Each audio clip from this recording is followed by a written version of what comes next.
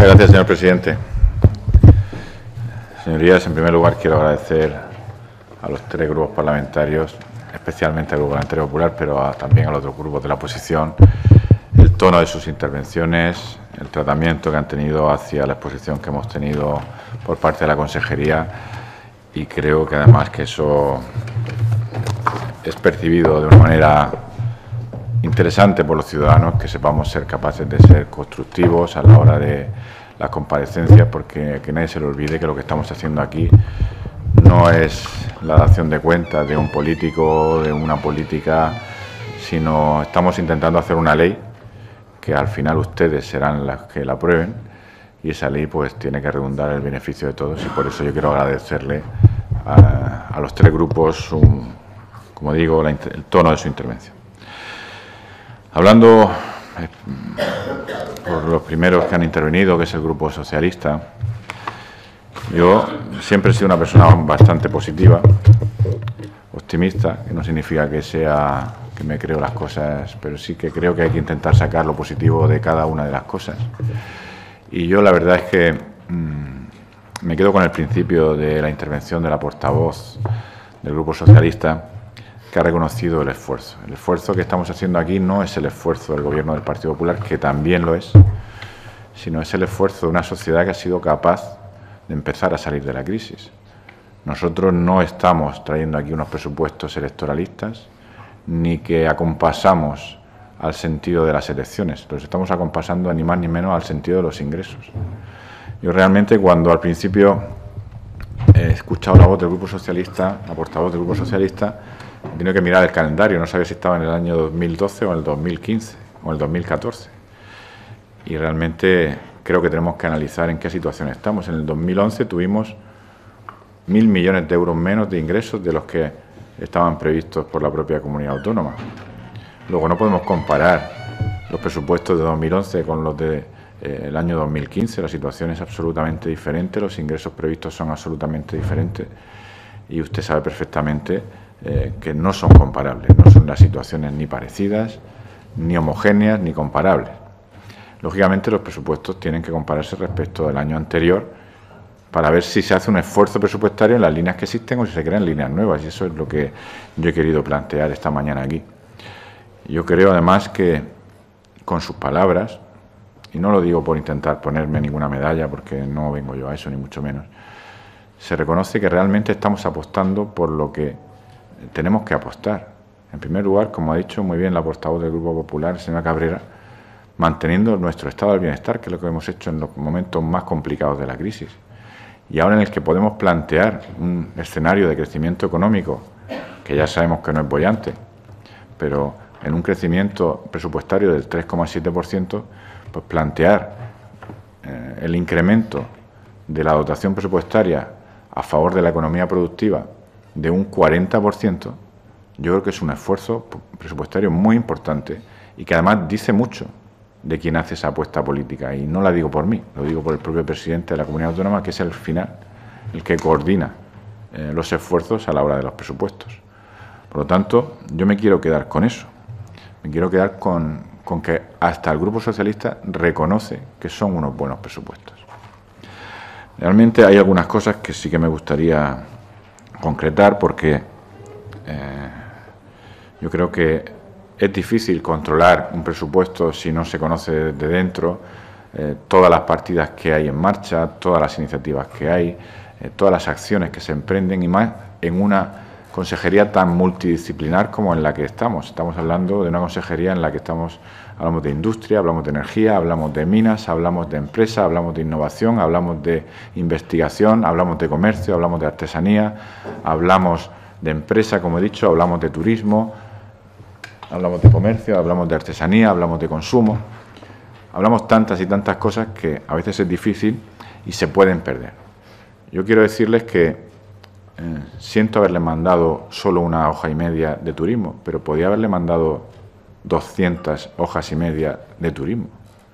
Pero lo he hecho por economía procesal, señorías. Yo conozco esta Cámara, sé que aquí lo que hay que tratar es de mandar un resumen para que el diputado pueda hacerse un pequeño análisis de lo que, para eso son las memorias explicativas, un pequeño análisis de lo que tenemos, pero no duden ustedes que si el año que viene eh, tenemos la oportunidad de estar aquí, yo eso no lo sé, si van a estar ustedes, vamos a estar nosotros, eso no depende ni de mí ni de ustedes, depende de la gente que está afuera.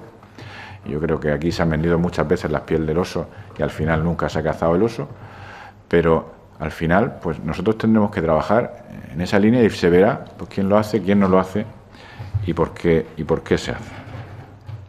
Quiero decirles que si hay que mandar 200 folios, pues lo mandaremos. Y si yo tengo que intervenir en vez de media hora, hora y media, tampoco me importa. O sea, yo no lo hago. Eh, sinceramente, si de verdad ustedes piensan que debo estar más tiempo o que tenemos que mandar, estamos dispuestos a mandarles toda la información. De hecho, en el presupuesto está toda la información y ustedes conocen perfectamente, porque conocen la consejería eh, perfectamente, que no se trata de una hoja y media todas las actuaciones que se van a hacer, especialmente en turismo. Quiero decir que respecto a la pregunta que se me ha hecho, eh, claro, yo no cabía, no cabía en mi sorpresa decir que estábamos haciendo recortes, pero claro, yo entiendo que es difícil atacar estos presupuestos en los que hay una apuesta decidida por nuestro tejido productivo. Pero eh, se me ha hecho una pregunta que era por qué teníamos cero dotación a los centros tecnológicos. Los centros tecnológicos tienen eh, previstos para el año que viene 2,3 millones de euros que están previstos en los presupuestos, como este mismo año. Están además, lo digo para que lo pueda comprobar si quiere usted, señora Clavero, y si no se lo mando yo, encantado, en las dotaciones de innovación del Instituto de Fomento. Ya sabe que, igual que el año pasado, este año se realizan a través de convenios que se realizan con los propios centros tecnológicos y nosotros le hacemos la transferencia. ¿eh? a esos centros tecnológicos para su supervivencia. La dotación de innovación del centro eh, directivo del Info, sabe usted que está dotada, como he dicho anteriormente, por 19,5 millones de euros. También hablaba de que el parque científico, que también son eh, dotaciones que están incluidas en el, en el Info, en la parte de innovación, y también eh, ha hecho alguna referencia al parque tecnológico de, Parque Tecnológico. Entiendo que se refiere al Parque Tecnológico de Fuente Álamo, donde nosotros somos socios, ya sabe que tenemos el 43,3% y que incluso le hemos hecho un préstamo al propio Parque Tecnológico para su desarrollo, para la ampliación, como usted eh, debe conocer eh, perfectamente, puesto que la primera fase del Parque Tecnológico de Fuente Álamo está completa y hay empresas eh, tecnológicas que están interesadas en venir, en venir hacia nuestra parque tecnológico. Quiero además reconocerle que, que diga usted que esta consejería es una consejería clave. Estamos de acuerdo, por eso crece un 40%. Por eso el Gobierno determina que tiene que tener un incremento presupuestario, la propia Consejería de Economía determina que tiene que haber un incremento presupuestario porque vamos a poner a disposición de nuestras empresas, de nuestros creadores de empleo, más recursos. Y como hemos dicho antes, y lo ha repetido la señora diputada, señora González, eh, los recursos propios que ponemos a disposición de nuestras empresas, de nuestras pymes, mayoritariamente nuestras pymes, porque se ha dicho aquí que se abandonan las pymes, no estoy nada de acuerdo eh, con esa afirmación.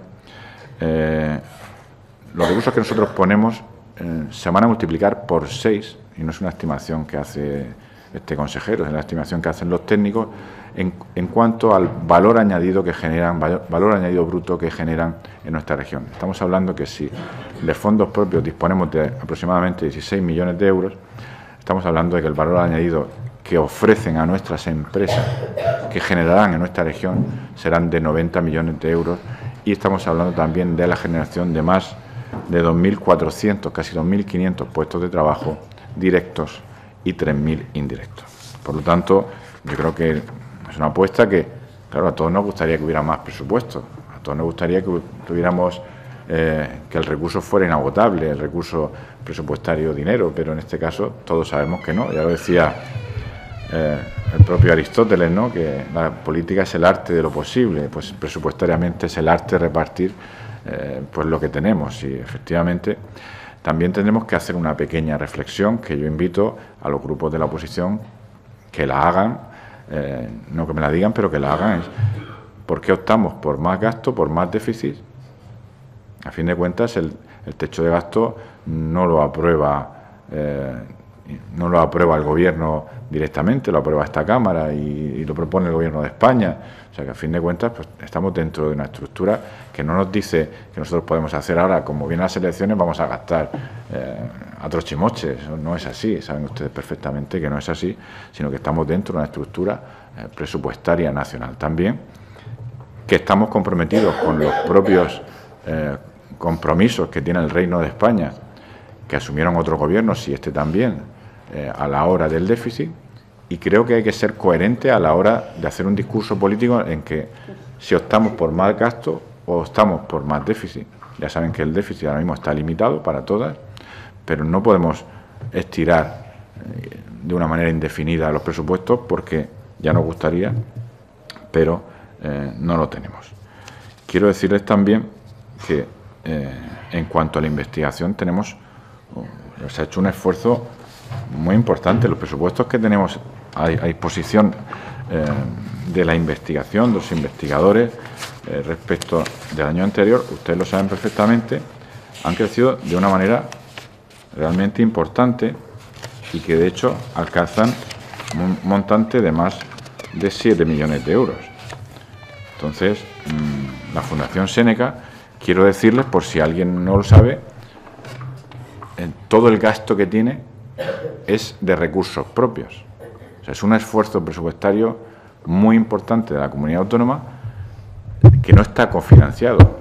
son proyectos directos que financian los impuestos y, que financia los ingresos de la comunidad autónoma de la región de Murcia. Ahí no hay cofinanciación, no hay fondos europeos, no hay más que el compromiso de este gobierno en mantener todos los compromisos que tenía de funcionamiento la Fundación Seneca, más aumentar todos los que aparecen, porque claro, la investigación, como ustedes saben, en la región de Murcia no es solo la Fundación Seneca, es muy importante el trabajo que hace, y yo lo reconozco, el de la Dirección General se hace, pero no es solo, también en la Dirección General, em, como ustedes saben, hemos crecido de una manera muy importante, eh, de unos, unos crecimientos, estamos hablando de tres cifras que no se habían conocido hace mucho tiempo. Yo creo que eso lo que tenía que concitarnos es pues que estamos, eh, no diré enhorabuena, sino que eh, estamos ahora que se puede empezar a gastar un poco más de dinero, no solo en mantener nuestras políticas sociales, mantener lo que necesita nuestra gente, estamos intentando invertir el dinero que tenemos los murcianos en crear una economía más productiva, en un modelo más sostenible, en un modelo basado en el conocimiento y por eso hay un crecimiento tan importante porcentualmente, claro que lo es porcentualmente, ya nos hubiera gustado tener, alcanzar épocas que se había que se alcanzaban en, otros momentos, pero esto es, como he dicho, lo que nosotros tenemos. Se nos ha preguntado también eh, en cuanto si mezclo alguna de las cosas de un grupo en otro, pues me van perdonando y los dejamos por los dejamos por contestados si les parece, pero eh, me han preguntado a cuántas empresas atendemos. Yo creo que lo ha contestado perfectamente eh, diputado del Grupo Popular, el señor Gómez. No solo eso, además, en mi, exposición ya he dicho que eh, vamos a atender solo para un sector, solo para uno de esos cinco ejes que, tiene el Info, a 5.600 empresas directamente de eso, independientemente de que no solo atendemos a las empresas, atendemos a emprendedores. Eh, les hablo de cabeza, pero estamos hablando que el año pasado asesoramos a más de 3.500 personas que querían emprender en la región de Murcia, de las cuales una parte importante creó empresas y de las cuales una parte importante ha sobrevivido como empresa este año. Por lo tanto, eh, yo quiero destacar la magnífica labor que hacen los profesionales del Info, que están volcándose precisamente ahora, además, que más lo necesitan. Incluso saben también que hemos puesto eh, a disposición de los parques empresariales y de las empresas una oficina del Info móvil que se desplaza, que se desplaza. Nuestro concepto de administración eh, es proactivo, es eh, buscar a las personas, que, a las empresas que necesiten los servicios de la administración. No es esperar como administración a que lleguen nuestros servicios. Por lo tanto, nuestro compromiso sigue estando ahí, sigue estando en ese, en ese trabajo para mejorar, para hacer que que las cosas se acerquen mucho más, perdón, que nuestras que nuestros instrumentos públicos se acerquen mucho más a las empresas y desde luego les sean útiles, porque si no les somos útiles a las empresas, pues no tendría sentido. Y yo creo que existe un reconocimiento general por parte del empresario, del empresariado y de la empresa de la magnífica labor que se realiza por parte del Info y en este caso de los profesionales del Info a la hora de asesorar, de atender y de trabajar en las cinco líneas. Yo quiero también destacar que se, ha comentado que si eh, las exportaciones deberían de, si teníamos que trabajar más en las exportaciones, yo quiero darle un dato, y en este caso me refiero al señor Pujante, que creo que ha sido el que me ha hecho la, referencia a las exportaciones. Eh, desde el año 2, desde 2000 hasta finales de 2013, la región de Murcia ha, ha duplicado su participación en las exportaciones nacionales, que son ya el 4,39, cuando usted sabe que nuestro peso económico a nivel nacional es del 2,5. Estamos casi el doble de nuestro peso económico en participación de exportaciones. Somos como provincia, yo creo que eso también es importante destacar, porque claro, homogéneamente no podemos compararnos con Andalucía por volumen, pero por provincia somos la cuarta provincia exportadora de España. Solo nos supera Madrid, solo nos supera Barcelona y Valencia. Luego, eso dice mucho del esfuerzo exportador que están haciendo nuestras empresas, pero también tengo que decirlo y que reconocerlo, el esfuerzo que está haciendo la propia Administración por ayudar a la externalización y a la internacionalización de nuestras empresas por todo el mundo.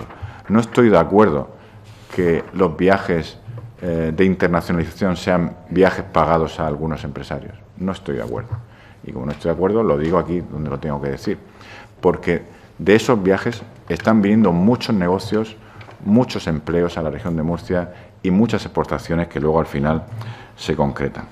Quiero decirle además que en 2013, en la región de Murcia, para que tenga los datos, exportaron 4.781 empresas, un 8% más que el año anterior, lo que demuestra que nuestras políticas son acertadas. ¿Por qué? Porque la empresa murciana se está lanzando a la exportación y precisamente la, empresa que más se ha lanzado a la exportación es la que mejor está aguantando la crisis. También se ha hablado del banco público. Hacía, hacía unos presupuestos que no oía del banco público, el Banco de Dakota del Norte. Eh, el banco hacía unos presupuestos que no oía, pero siempre es grato recordar cuando, cuando se, cuentan cosas. ¿no? Eh, yo quiero decirle que nosotros no tenemos una banca pública, pero nosotros tenemos una cosa parecida, que, yo me gustaría que usted reconociera públicamente la magnífica labor que hace UNDEMUR. UNDEMUR es una SGR, una sociedad de garantía recíproca, de la cual nosotros somos parte. Y es casi una banca pública formada por, en parte por nosotros, pero también por las empresas.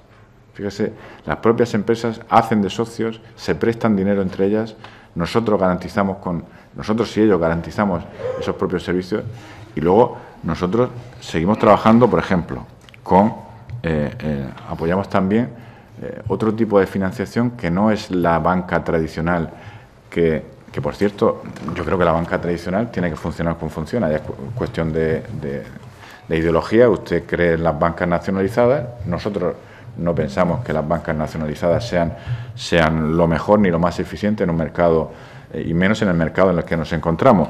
Pero bueno, pero tenemos otros, otros, otra manera de financiación, como son el Murcia BAM, que es una red de inversores para apoyo a la financiación, que usted sabe eh, perfectamente.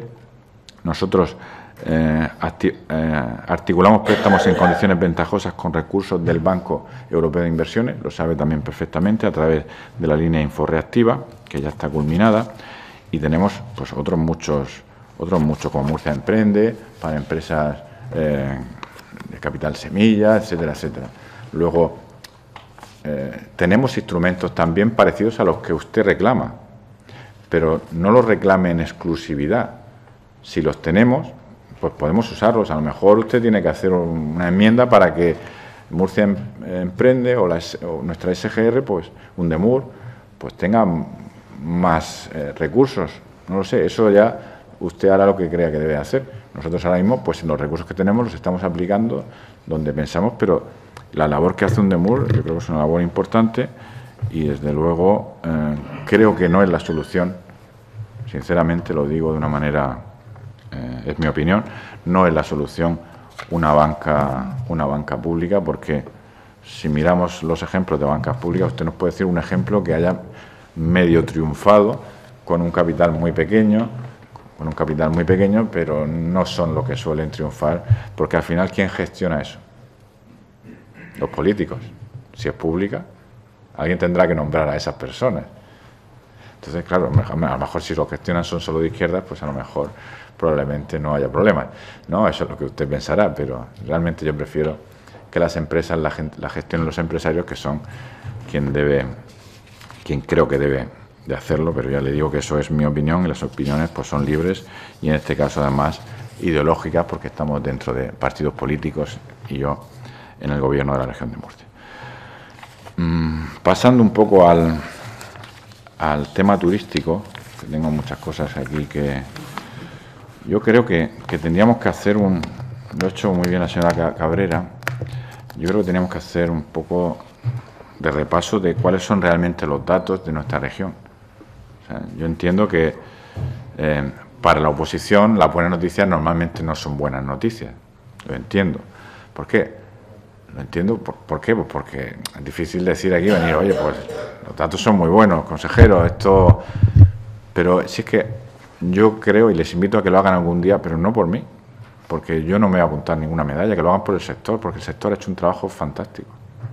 Yo quiero reconocer públicamente el trabajo del sector. Es verdad que están acompañados por la Administración, que nosotros estamos sentados con ellos de la mano en crear un nuevo plan de marketing, que aquí tengo que estamos cerrando con ellos. Es verdad que tenemos que hacer un plan estratégico, es verdad que tenemos que hacer muchas cosas y en eso es lo que estamos trabajando. Nosotros siempre hemos, hemos tenido la mano tendida, la tenemos tendida. Les, hemos eh, dicho, pues queríamos una marca conjunta y ustedes quiero eh, también reconocerlo porque es igual que le pido a ustedes que reconozcan, reconozcan cosas, yo les reconozco a ustedes y a los dos grupos de la oposición les reconozco eh, que han estado muy bien eh, trabajando conjuntamente junto con el Grupo Popular, apoyando una marca turística que sea estable y que además sea apoyada por los tres grupos que pertenecen a los que, que forman esta Cámara. Yo creo que eso es un mensaje positivo a la ciudadanía, que somos capaces de ponernos de acuerdo en cosas para que al final eh, sean más duraderas. Pero claro, usted dice que crecemos menos que la media, que los presupuestos tienen trampa y que nuestra aportación al PIB es muy pequeña y que el empleo va fatal. Pues vamos a, recapitular. Llevamos 17 meses de crecimiento turístico seguidos.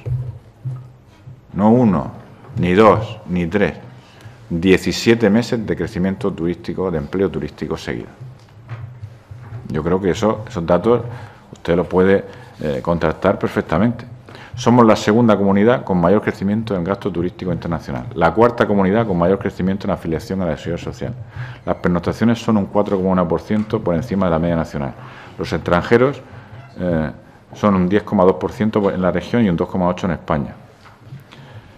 Yo creo que, no sé, no puedo, no voy a abrumarle con datos. Habrá datos que no sean tan buenos sí, pero hay que reconocer que estamos eh, cabalgando a más velocidad que la media de España. Que no estamos todavía, sí estamos en la media, lo que no estamos es en la media de nuestro entorno de nuestras capacidades. Y eso es lo que estamos luchando ahora con el propio sector. ¿Por qué? Porque tenemos que encontrar y tenemos que diversificar y tenemos que aumentar nuestra oferta.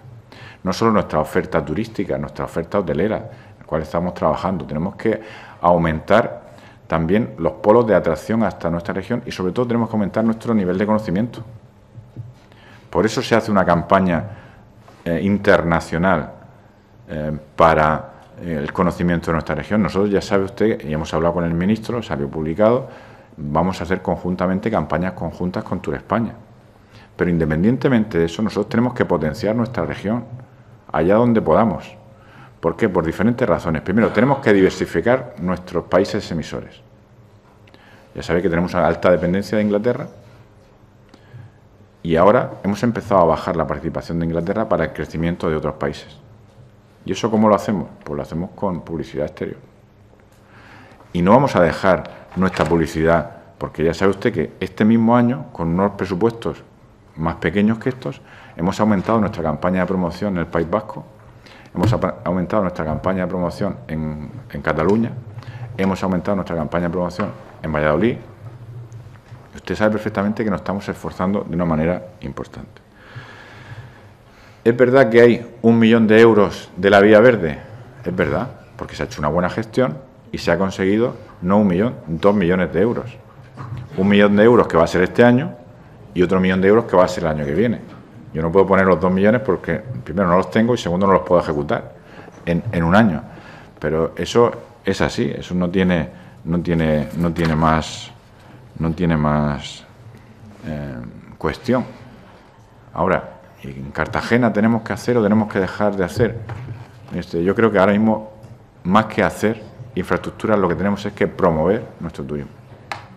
Ese es el, ese es el, eh, si usted me convence de lo contrario, pues a lo mejor podemos llegar a un acuerdo, pero yo creo que ahora, antes que gastar en crear una infraestructura turística en Cartagena que posiblemente sea importante y que posiblemente si tuviéramos capacidad financiera deberíamos de hacer, tenemos que gastar los recursos que tenemos en donde nos sean mucho más productivos. ¿no? Pero es que esos no son nuestros, la Vía Verde. La Vía Verde lo hemos conseguido Europa, como usted sabe. Y nosotros hemos gestionado que si no, ese dinero hubiera ido a otra parte de España o a otra parte de Europa. Y se va a invertir, además, gran parte en su ciudad. Porque usted sabe que desde Cartagena hasta Totana. Con lo cual, yo creo que también, pues algo, usted debería estar contento. ¿eh? Usted me habla del Plan Estratégico de Turismo de Castilla y León, el cual conozco. Yo le invito a que se lo lea bien usted sabe, los planes, eh, eh, no, es que usted me habla de, millones de euros, pero usted sabe que los planes estratégicos no conllevan solo inversiones turísticas. Ahí se hablan de carreteras, se hablan eh, de tantas y tantas cosas. Hay vías verdes también, pero hay carreteras, carreteras para, para construir carreteras que creen que se debe hacer para mejor accesibilidad, etcétera, etcétera. Ya le he dicho que nosotros tenemos que hacerlo y le llamaremos, no se preocupe le llamaremos a su partido y espero que venga usted porque si su partido lo determina, pero bueno, quien determine su partido porque usted conoce del turismo y en el fondo sabe que se está haciendo un esfuerzo muy importante. Se está haciendo un esfuerzo muy importante dentro de la situación presupuestaria que tenemos. Que nadie piense que nos hemos hecho ricos de ayer a hoy. Seguimos estando en una situación presupuestaria muy complicada, con una limitación de gasto muy alto y con unos recursos infinitamente inferior de hace tres o cuatro años. Estamos hablando de miles de millones de euros. Ya hablamos de, miles de millones de euros como si fueran céntimos. Y realmente, pues es una capacidad de gasto muy importante que no poseemos ahora. Nosotros estamos trabajando de una manera también decidida por la desestacionalización.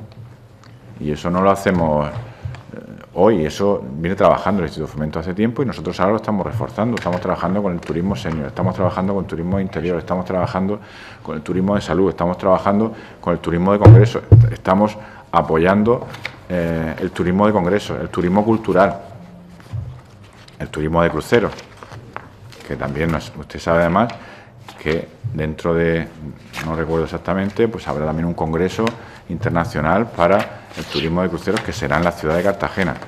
Es decir, eh, la desestacionalización, como usted sabe perfectamente, eh, como sabemos todos los que estamos aquí, no se hace de la noche a la mañana.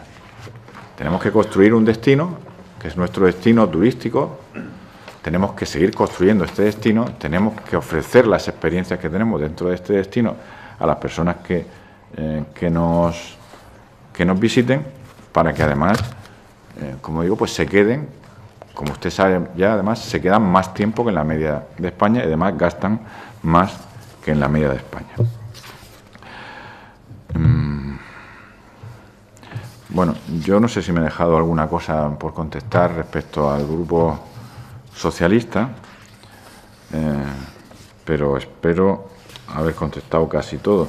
No quiero ser especialmente largo, pero tampoco especialmente corto. Si ustedes quieren cualquier otra cuestión que yo les pueda eh, pues aclarar, estoy encantado de hacerlo. Y respecto al grupo, eh, grupo mixto de Izquierda Unida, aunque ya algunas cosas hemos ido, eh, hemos ido contestando, quiero destacar, pues lo que he dicho al principio también al Grupo Socialista, quiero agradecerle el tono de su intervención, eh, que realmente coincidimos en gran parte los objetivos que se marca esta consejería. Yo entiendo que hay algunos que no, es normal. Somos de dos, eh, formaciones políticas muy diferentes, aunque lógicamente pues tenemos un objetivo común que yo creo que es el que nos trae todos aquí y que desde luego es el objetivo de estos presupuestos, que es la creación de empleo. Y para crear empleo hay que apoyar a las empresas y a las empresas privadas. Esa es mi opinión, la opinión de mi grupo parlamentario, de mi gobierno.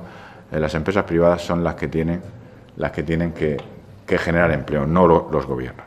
Y por eso ponemos a disposición, como he dicho, esa cantidad importante que va a llegar hasta los 55,8 millones de euros eh, a disposición de nuestro tejido productivo para la generación de empleo.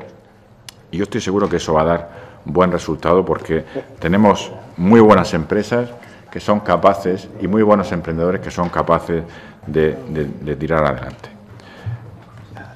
Ha dicho usted que es un presupuesto puesto en cuarentena, porque vienen las elecciones y qué tal. Un presupuesto al final es una ley. Entonces, yo creo que todas las leyes que apruebe este Parlamento no van a estar en, cuarentena ni se van a cuestionar porque eh, haya un resultado electoral similar al que existe ahora mismo o diferente al que existe. ¿Por qué? Porque las instituciones tenemos que estar por encima, incluso de los partidos, porque hay mucha gente que se merece que estemos por encima incluso que de los partidos. Y ese es el planteamiento que nosotros hacemos aquí. No hacemos, no se ha hecho un, presupuesto electoralista, no se ha hecho un presupuesto eh, de, de cortas miras, muy al contrario, es un presupuesto donde trabajamos en la economía, en la economía productiva que realmente es, es lo que generará, como he dicho antes, el empleo. Sí, claro que son muy optimistas, ¿no? Vamos a crecer mucho. Usted sabe que precisamente hoy el BBVA nos da un crecimiento del 2,3%, cuando realmente en estos presupuestos lo que nosotros planteamos es un crecimiento 2%. Por lo tanto, y normalmente BBVA está siempre por debajo de lo que crecemos. Yo no quiero decir con eso que vayamos a crecer más del 2,3%, ya me gustaría, ojalá, y ojalá estos presupuestos contribuyan a que sea así. Pero no es un presupuesto irreal, no es un presupuesto basado en un crecimiento falso y no es un presupuesto eh, hecho para cerrarlo a martillazos. Es un presupuesto que seguramente eh, cuando analicemos el del año que viene, si estamos aquí, eh, ustedes o nosotros o, o quien esté, pero cuando se analice, se verá que es un presupuesto que probablemente haya sido eh, conservador, no por el partido que lo ha hecho, sino por las previsiones de crecimiento eh, que tenía. Quiero decirle respecto al tema de las energías renovables. Yo aquí voy a ser muy claro. Muy claro, nadie puede dudar en esta región de Murcia de la apuesta que ha hecho el Partido Popular de la región de Murcia, el gobierno de la región de Murcia, por las energías fotovoltaicas y por la gente que ha apostado por las energías fotovoltaicas. Nadie puede dudar. Y yo creo que ni, Izquierda Unida, ni el Partido Socialista, ni nadie. Por eso creo que hay que dejar bien claras algunas cosas. Quien ha presentado un recurso de inconstitucionalidad, tanto al gobierno socialista como al gobierno popular, dos gobiernos diferentes, ha sido el gobierno de la región de Murcia quien mantiene esos recursos disconstitucionales es el gobierno de la región de Murcia. Luego, si alguien está defendiendo, como se tienen que defender, a la gente que invirtió en las energías fotovoltaicas, ha sido el gobierno del Partido Popular, el gobierno de la región de Murcia. Entonces, que se cuestione que nosotros tenemos una política, eh, pues yo, si me lo permite, le niego la mayor. Le niego la mayor porque no es así. Primero porque siempre hemos apostado Segundo, porque siempre hemos considerado que es una de nuestras salidas. Es importante que la región de Murcia eh, siga apostando por las energías limpias, las energías renovables y también por las fotovoltaicas. Porque hemos estado siempre al lado de los que invirtieron en fotovoltaicas. Hemos estado antes, hemos estado después de antes, hemos estado ayer, estamos hoy y vamos a estar mañana. Entonces, que se cuestione nuestro posicionamiento cuando además este presupuesto tiene un crecimiento extraordinario a la hora de la apuesta por las energías renovables, a las energías limpias y el cambio de la economía del carbono a otra, eh, a otra economía mucho más limpia, no se lo acepto. Permítame que se lo diga así, no se lo acepto porque realmente la apuesta, ¿Qué ha hecho este gobierno? Yo creo que no lo ha hecho este gobierno y el partido que sustenta este gobierno. No lo ha hecho ningún gobierno ni ningún partido que sustente a ningún gobierno en el conjunto de España. Entonces, eh, no, quiero entrar más ahí, pero, pero desde luego no, no, vamos a, no vamos a entender de ninguna de las maneras que se pueda poner en duda nuestro compromiso con, con las energías limpias y con las personas que invirtieron fruto, desde luego, de un, de un decreto que no hizo el Partido Popular, invirtieron todos sus ahorros y probablemente algunos han perdido algo más que todos sus ahorros. Eh, y por eso seguimos trabajando y por eso nosotros hemos sido quien ha recurrido en el Tribunal Constitucional. Me ha hecho referencia al comercio minorista. Yo, yo quiero hacerle una precisión que muchas veces, muchas veces parece que se nos... Vamos a ver. ¿Hay una apuesta decidida en estos presupuestos y un importante incremento de apoyo al comercio minorista, sí o no? Esa es la pregunta que yo le hago a los grupos de la oposición. Yo creo que solo hay una respuesta, que es sí. Entonces, ahora que nos vengan, no es que los centros comerciales, es que yo, primero aparte con los centros comerciales, yo le rogaría que distinguieran entre dos cosas, entre grandes superficies y centro comercial. Porque muchísimos centros comerciales están formados por pequeñísimos eh, comerciantes que tienen sus tiendas en los centros comerciales. Entonces, no le estamos haciendo ningún favor a esos comerciantes si queremos defenderlos o pretendemos defenderles, no les estamos haciendo ningún favor si le decimos que son una gran superficie, que hay no sé cuánto y que van a hacer. Entonces, si alguien quiere defender el comercio minorista, separemos también eh, el concepto de gran superficie de eh, centro comercial. Independientemente eh, de eso, pues no solo la apuesta que hay por meter a nuestro comercio, el comercio minorista de la región de Murcia, en las nuevas tecnologías, en la adaptación a la calidad, a la, eficiencia energética. Yo creo que es, como he dicho, para el conjunto de los presupuestos una apuesta política. Y la apuesta política que hace este gobierno es de apoyo al comercio minorista en la región de Murcia. Que antes podríamos haberlo apoyado más, pero ahora es cuando disponemos de los recursos y yo tengo la oportunidad de presentarle ante esta Cámara estos presupuestos que desde luego nadie puede dudar que apoyan al comercio minorista. ¿Cuánto llevo de tiempo? Entonces, llevo media hora, ¿no? Bueno, voy a, voy a tardar poco, señorías, porque he dicho que no iba a ser, pero vamos, que estoy dispuesto, como digo, a que nadie me pueda decir que en un folio me, me he despachado. Pero sí que quiero también explicar algunas cosas. Y luego eh, se nos ha hablado de la internalización, que ya he hablado, de las exportaciones, que también he hablado, eh, de la banca pública, efectivamente, de la competitividad. Vamos a ver, de ninguna de las maneras nosotros apostamos por la competitividad en base al salario del trabajador. De ninguna de las maneras, si no, no tendríamos una línea con tanta dotación ni nosotros seríamos la consejería que habla de innovación, ni tendríamos, ni hablaríamos de transferencia tecnológica de los centros tecnológicos, todo lo contrario. Precisamente la apuesta que hace esta consejería es todo lo contrario de lo que usted dice. Independientemente que haya una empresa que tenga que hacer en un momento dado un ajuste, pero ese no es el trabajo que está haciendo esta consejería. Nosotros trabajamos en aumentar la competitividad en base a la mejora de los procesos productivos y la mejora también de sus mercados, de su eficiencia y de su capacidad, su eficiencia y de reducción de costes no laborales, de costes eh, de producción, de costes fijos, de costes energéticos, de costes eh, que, puedan significar menor competitividad para nuestra empresa. Luego, usted lo que está diciendo que apoya todas las actuaciones que nos estamos haciendo, y yo entiendo que es así, para que nuestra empresa gane en competitividad a través de las líneas políticas y presupuestarias que hemos puesto encima de la mesa. Mm.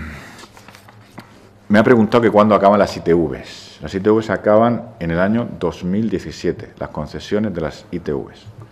Nosotros tenemos, ahora mismo hay dos, si hay alguna duda, ¿no? Hay seis concesiones que tienen dos empresas, ¿no?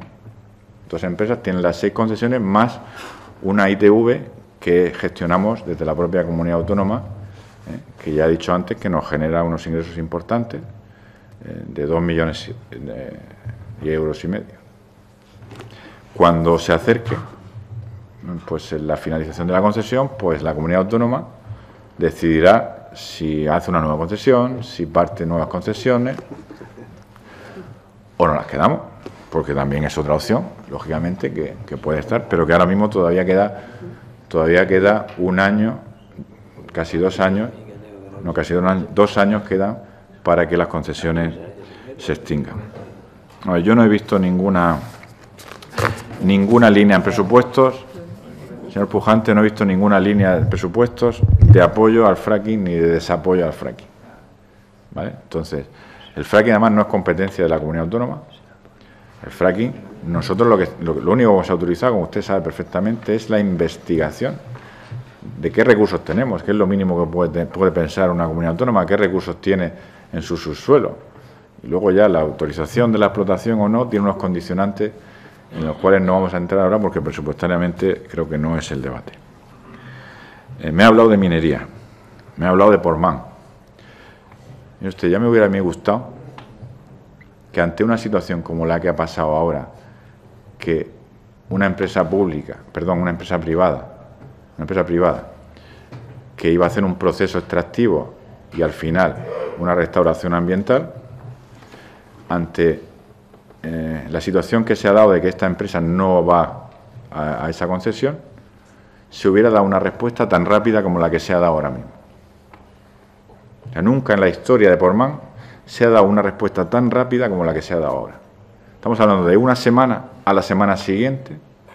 Ya se ha comprometido el Ministerio, el Magrama, el Ministerio de Agricultura y Medio Ambiente, a tramitar a través del grupo parlamentario una enmienda para la regeneración pública de la Bahía de Porma. Luego, yo creo que ahí lo único que tenemos a día de hoy que hacer es felicitarnos, no a nosotros, sino a que las administraciones han sido capaces de ponerse de acuerdo rápidamente y ofrecer una solución a los ciudadanos que demandan que se solucione de una vez por todas eh, el tema de la regeneración de la bahía de Porma. Así que eh, y luego en el tema de las actividades mineras y de áridos, en primer lugar, eh, la minería y, las canteras es una actividad agresiva con el medio ambiente, es cierto, nadie puede decir que no, pero es una actividad legal, punto primero. Es que, a veces nos ponemos a demonizar cosas, a demonizar cosas y sí, al final, eh, al final creamos problemas. Es una actividad legal que tiene su regulación y que además como muy bien ha dicho el señor eh, Gómez, cuando se, cuando se da esa concesión se le requieren unos avales. ¿Que hay explotaciones mineras abandonadas? Sí, pero no son de hace poco tiempo, son de hace muchos años. ¿Y qué, ¿Y qué estamos haciendo ante eso? Estamos haciendo diferentes cosas. Primero, estamos colaborando con el fiscal, porque el fiscal está investigando también quién abandonó esas, esas instalaciones mineras. Segundo, lo que estamos haciendo es, como, usted habrá eh, escuchado en mi intervención, poner en marcha un plan que ya dotamos con 300.000 euros, en una situación presupuestaria complicada, para restauración ambiental de la minería abandonada. Quiero decirle además que cuando se hizo un plan de cuando se revisó cuántas instalaciones mineras abandonadas había en España, el 40% de las instalaciones mineras abandonadas en España estaban en la región de Murcia. 40%. O sea, no estamos hablando ni de Asturias, estamos hablando de la región de Murcia, 40%. Pues muy bien, nosotros, lógicamente, ante esa situación que hay que solucionar, que tenemos que buscar además quiénes son las empresas, los propietarios que dejaron así, sí que estamos ya hablando con el Ministerio en un plan que nos costaría 52 millones de euros, ni más ni menos, para poder atender subsidiariamente la restauración ambiental de esa minería, que luego, lógicamente, tendría que pasar eh, al propietario el que eh, pagara esa restauración ambiental. O sea que estamos haciendo cosas y, muchas cosas. Y para terminar, no sé si me he dejado algo de lo que... Bueno, sí que, sí que quiero decirle una cosa eh, respecto al tema de la investigación, perdonen que, perdone que vuelva. Nosotros ya saben que nuestro plan de ciencia es un plan que es transversal. Quiero decirle además que mm, nosotros no pensamos que toda la investigación tenga que ser investigación empresarial, pero sí tenemos que decirle que es muy importante lo que es la, eh, la investigación aplicada, la investigación estratégica, que crea valor y, como usted muy bien ha dicho, nos da competitividad a la hora de generar unas empresas que pues, tengan menos costes, que hagan procesos eh, que sean más competitivos. En la región de Murcia, aproximadamente, la diversificación de nuestra investigación está en investigación básica, que es la no orientada, un 40%, y la investigación aplicada, un 60%. Eso es lo que tenemos a día de hoy. Luego significa que hay, no estamos llevando toda la investigación. O sea, si alguien de, vamos a hacer como un ejemplo más gráfico y permítame que, es reducirlo un poco al absurdo, ¿no? O sea, no estamos dejando de lado el investigador que investiga la obra de Cervantes frente al investigador que investiga una nueva máquina productiva. Eso es lo que le quiero decir cuando hablamos de esto. Entonces, nuestro compromiso con la investigación sigue estando con las universidades. Nosotros tenemos una relación extraordinaria a la hora eh, de buscar sinergias eh, con nuestros investigadores, en la aplicación de sus descubrimientos, de su trabajo, de su y, seguimos colaborando y vamos a seguir colaborando con ellos. Y quiero terminar con lo que, respecto a usted, me ha dicho que no se van a cumplir los objetivos. Yo creo que sí se van a cumplir los objetivos. Creo que se van a cumplir, además, por encima incluso de los objetivos que nos hemos marcado. Por lo que le he dicho, porque son unos, son unos presupuestos basados en un crecimiento conservador. Y además espero que así sea. Y respecto al Grupo Parlamentario Popular, lo único que tengo que hacer es agradecerles.